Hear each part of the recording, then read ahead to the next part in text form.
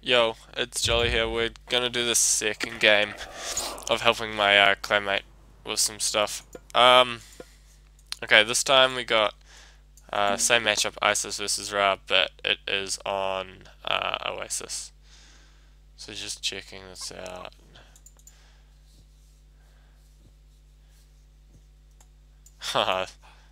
You can see that, dude.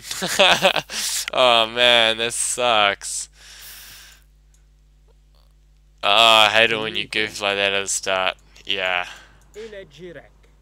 Okay. so, you should have gone to that hunt and got hunting dogs. Uh, oh, you're going now. It's going to be slow on you. That's rough. Are you researching hunting dogs? You should do that. Like now. Um, get three villages on that. Get three villages on gold. And send your pharaoh. I would go here and back with my pharaoh. Like, do a do a double thick like line, so the line of sight this way, and then come back up towards the side of the map and go back. And that that's where I would scout the Pharaoh. You'll probably find like six guards. If you got lucky, you might find like more like ten sometimes.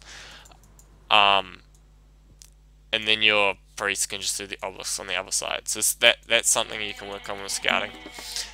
Scouting's weird. Like people, I used to be like this too when I didn't scout well. I would be like, oh, I don't really want to be too aggressive, or oh, I would rather have him empowering my economy, and you you're just not giving yourself the chance of winning a game. So it's hard to switch your mindset sometimes. But, but learning to scout aggressively and more efficiently is, is, is so good. Because 90% of like winning this game is is from from playing to the map. Most people don't play to the map. So this villager here, dude, make him go build a monument and then your houses. You don't you don't need to be going seven, five or six. But because you had to move from the food, you would have need to do six. But if you gone straight away, you'd only need five. So he's found some good food there. Alright. Yeah, this needs to be scouted because because you don't know where your giraffes are. That's what like you're trying to find, and fucking there they are in that area. Because like you know the oasis's set spawners. There's gonna be zebra, there's gonna be giraffes, and they sometimes sit with gazelles, sometimes they don't. Um, and there's gonna be berries, and and they're all you gotta look for that those food sources. It's it's always nice if you build a granary. Oh man. uh, oh man, that sucks.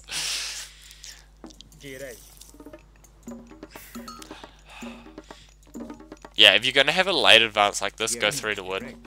You need to. That's good you use the chickens there. Have you got husbandry? Yeah, nice. Okay, good job. I'm picking those up. That's a late classical, and you could have avoided all that. You could have still hit like a 520 classical if you played that right. If you had used five villages on this hunt, and then sent um, a couple of you scouted this, when they finish that, you go there, and the others are gathering here, and can just go to the berries. And then, like you did, just keep adding food. Yeah, you could have easily got a nice time, but oh well. Just, yeah, so if you go three, you can use all three of these villages to make your armory, and you still get shaft mine. Like, you're leaving them on to get shaft mine. No! Oh, man.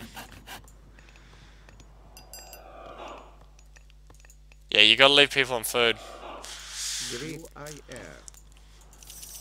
Why are you making so many priests? You haven't scouted anything, and you don't you don't know what he's doing. He could be classic fighting for all you know, and he could just have you know a whole bunch of spearmen and slingers, no myth units. You don't know what he's doing. Don't spam units like that. Make sure everything you do, you, you have a reason and knowledge to do it. If you see he's up Hathor and you see double monument, you're like, okay, this guy's going to make a lot of fucking pets. And then you make your priests and you upgrade them and you say, you're my bitch now. Deal with my next priests. But you gotta make them for a reason. That's that's just 700 gold that you could have spent on a town center.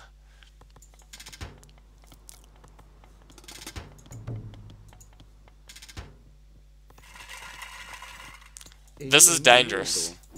Like, by the looks of it, you'll get away with it, but like, that's what's gonna happen to you. yeah. I haven't even watched this game yet, and I knew that was a bad idea. Your priest is so slow and vulnerable. Like, if he has a Migdol up and like six chariots, they're, they're all dead. And all that wonderful 700 gold you chose to spend for absolutely no reason. Because you had no idea what he was doing. Was just completely thrown away. You can run around with your chariots because they're fast enough to get out of situations. The key to being aggressive is being is being able to give yourself the opportunity to disengage any aggression.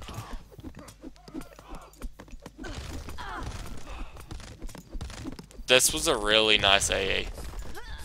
So much better done than the last game. That was really good to see, man. That was well played. You killed a lot there.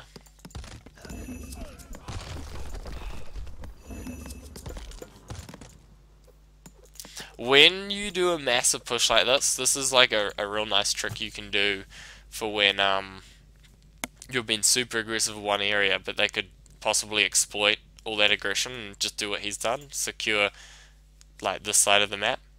Soon as you know you're like you're just going to obliterate it, set your Migdol auto queue to the other side and send units out here to scout. Because if you see he's sending everything over here, you can make a very good call whether you just keep plowing through this way or you just leave the siege towers here and run over the chariots and then start like pressing on that area straight away. So like you're catching his villagers making Migdols and you're killing his villagers while he's trying to sneak up Migdols and you take everything away from him. You you got to get that vision. So you got to send those units straight away. It's a nice trick so people can't like pull off cheesy shit like this. Like this, that's just annoying.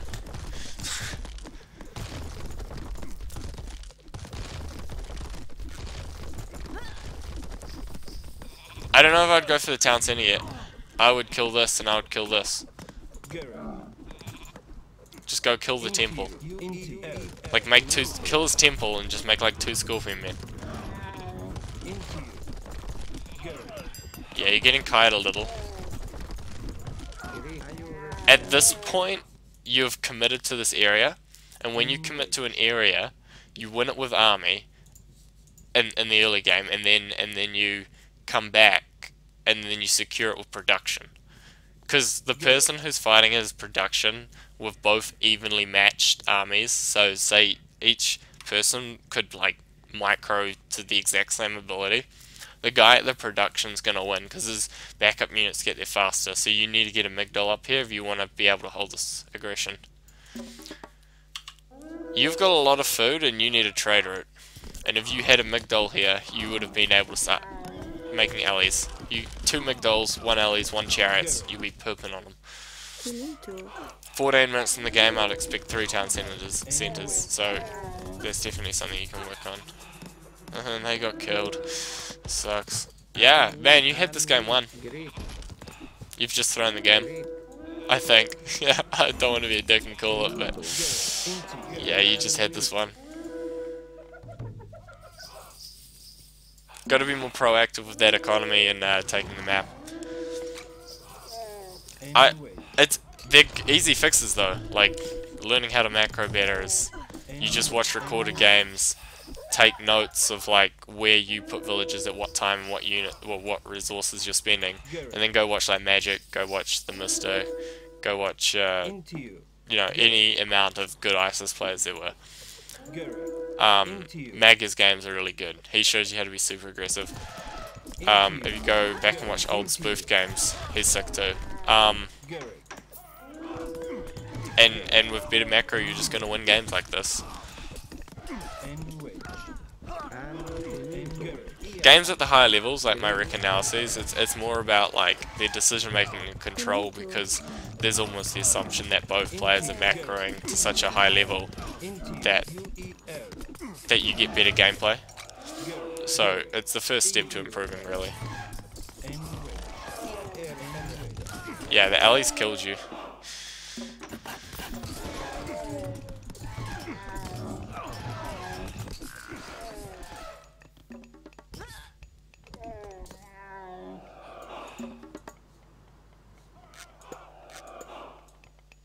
Yeah, you still don't have enough vision of this game. You're just you're giving him the opportunity to do shit to you. You gotta deny vision. Denying vision is so key in maintaining yours. Like if you had walls both sides here, and you had vision of anything he was trying to do, like the, he has to play to kill your vision before he can start making any really solid moves because you can react to everything. But right now you're you're playing in the reactionary stance, whereas you play proactive and keep the vision, he can't. You have control over the game. It's very dominant in most games, even games where you lose. Like the other guy could have way better vision control than you. Normally that's the winner though. That's like a, a real big theme I find. Is is one guy is always you know more dominant on the vision control the guy that's winning, you know, just naturally has more vision and more of the map. Ah, that's a nice one. I love doing shit like that. You just rock up to the town center and just like, sup. I'd have just kept, kept gone up there and killed that shit. I don't know what these alleys are doing. You just like ran them around, letting them die. They need to be fighting, man. Elephants are useless standing still. Yeah, his army's just so much stronger than yours right now. Yeah, I feel like the game's getting too hectic for you right now. This is like just tons of mistakes are coming through that. It's cool. You can work on speed quite easily. You can just try play with that auto queue or something for a bit practice using all those control groups. I wonder, I, I want to know what like control groups and you set up because when I play, I use about eight control groups and all the hotkeys. It just makes it so much faster. When it it takes like it's one of those easy things you should just do, and it takes like takes like two days to get used to it. Not even that. Play like three or four games, and you're like, why did I never use control groups? But when you first, you know, you, you think about doing it, you're like, fuck, nah, that sounds real hard. it's a real stupid, uh, stupid feeling about it. Yeah, you can't really beat Ra now. He's got, you've got a forward town center oasis, like, his mercs will fight here for an hour. Shit. He's got a nice push here. And he's got your trade route almost. He should have easily had this whole area, but yeah. You don't really have a trade route. I wonder if you're empowering the right market. I've done that, like, I've played like hour 45 game and been empowering the wrong market the whole time. And like, oh, I'm such an idiot. Yeah, that looks like GG. I think you're gonna resign anytime soon. So yeah, just working on that macro, and then when you've been really aggressive on a point, and you're going to take it, make sure you have vision of these other areas so you can't cheese out and just secure gold mines there. Because if you killed this area and build a Migdol here, and he couldn't get to the side of the map, so you had this walled and like this walled, and there's no gold mine here, you've you've got him gold drained. He two town centered. He spent a lot of gold there, so you got to play for the gold drain, especially when there are two town centers. Into you.